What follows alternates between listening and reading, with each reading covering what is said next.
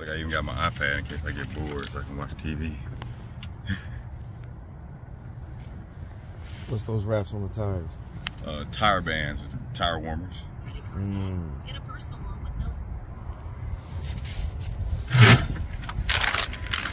Wow,